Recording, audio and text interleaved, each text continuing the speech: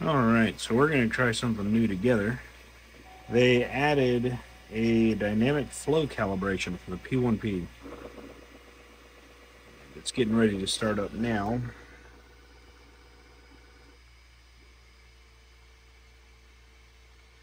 This isn't what I normally print PETG at. Normally I'm at 270 and what is it, 20 millimeters on the volumetric speed.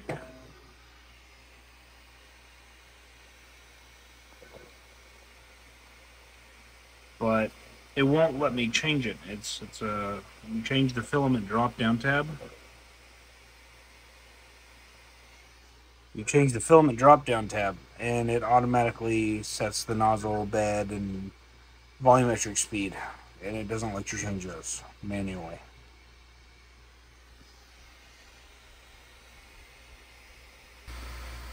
Alright, so we got through the bed leveling part of the process and we're now heating back up.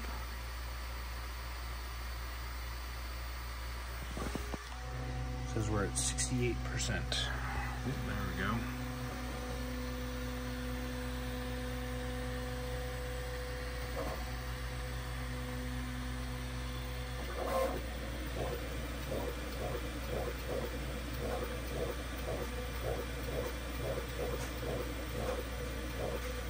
Normally with PETG I have glue on the bed and I forgot to do that.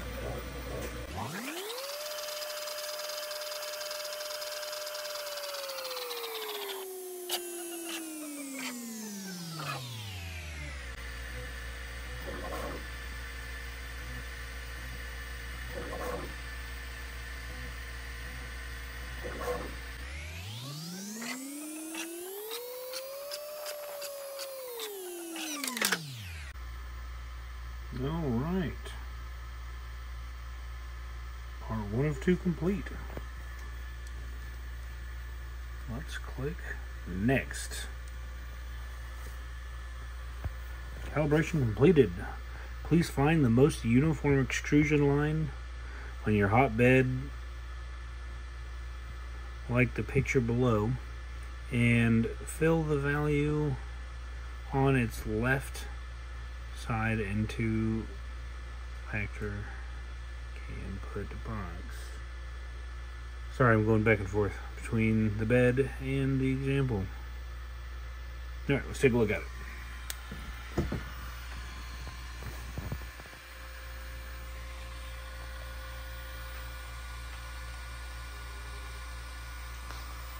Hmm.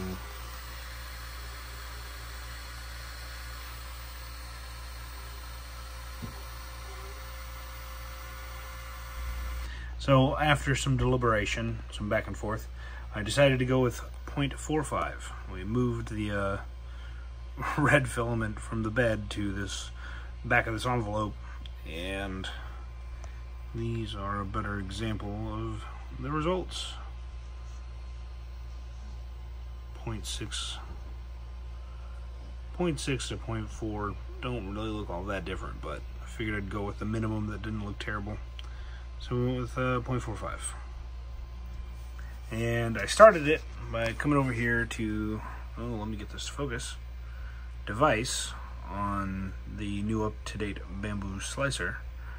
And down here is a little calibrate of calibration of extrusion button.